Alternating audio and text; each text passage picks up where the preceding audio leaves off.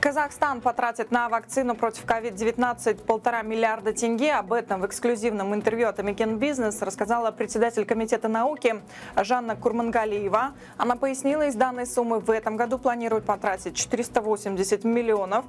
Постановление правительства на выделение средств подписано неделю назад, а сегодня авансовый транш в 30% уже отправит в НИИ проблем биобезопасности. Именно этот научный институт проводит исследования. Казахстанский препарат уже зарегистрирован в качестве возможной вакцины на сайте ВОЗ. Все подробности у моей коллеги Мируэр Джакиянова, она на прямой связи со студией. Мируэр, добрый день. Это дополнительные средства из республиканского бюджета?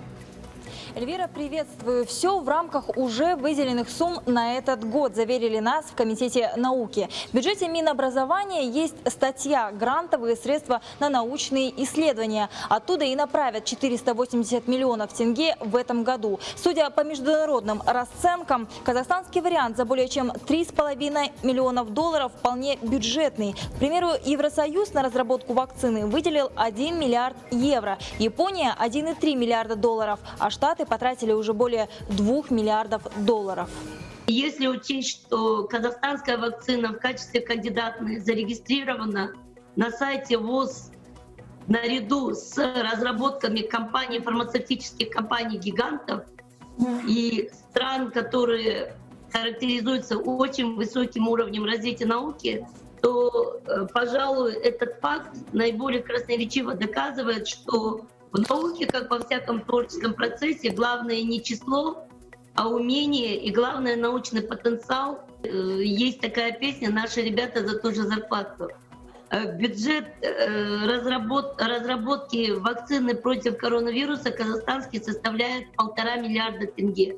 Сейчас научные сотрудники института проводят доклинические испытания на линейных мышах. В Комитете науки нам озвучили несколько интересных деталей. К примеру, один подопытный экземпляр обходится казне примерно в 10 тысяч тенге, а таких нужно около 150 особей. На очереди сирийские хомячки, хорьки и приматы. По словам Жанны Курмангалиевой, ученые готовы к клиническим испытаниям на людях уже к сентябрю-октябрю этого года, но только в случае положительных результатов. Впрочем, в Казахстане, как и в мире, рассматривают ускоренный формат испытания вакцины. Учитывая, какая ситуация в мире, э, какая ситуация с пандемией, э, специалисты вполне допускают возможность э, применения вакцины после первой фазы клинических испытаний, но вы абсолютно правильно отметили, что отказ от других фаз может дать только Министерство здравоохранения, и только, наверное, в том случае, когда результаты испытаний покажут как минимум безопасность данной вакцины для человеческого организма. Эльвира, тему казахстанской вакцины я освещаю с прошлого месяца, когда ученые только объявили о своих планах. Конечно, стало интересно, насколько оправдано для Казахстана включаться в международную гонку фармацевтических гигантов. Предлагаю послушать на этот счет экспертное мнение. Ну, та страна, которая первая придумает и выпустит такую безопасную вакцину, конечно, к этой стране выстроится очередь, которую должны будут покупать. Ну, в целом, привить по миру мы должны 5 миллиардов человек. Представляете, это большой такой объем.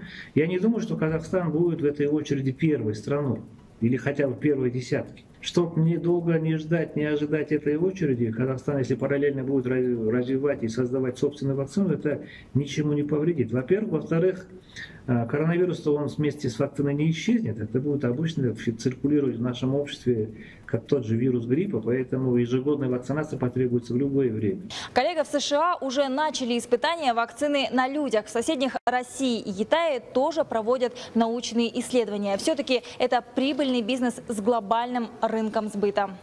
Студия. Спасибо, Мируэрт.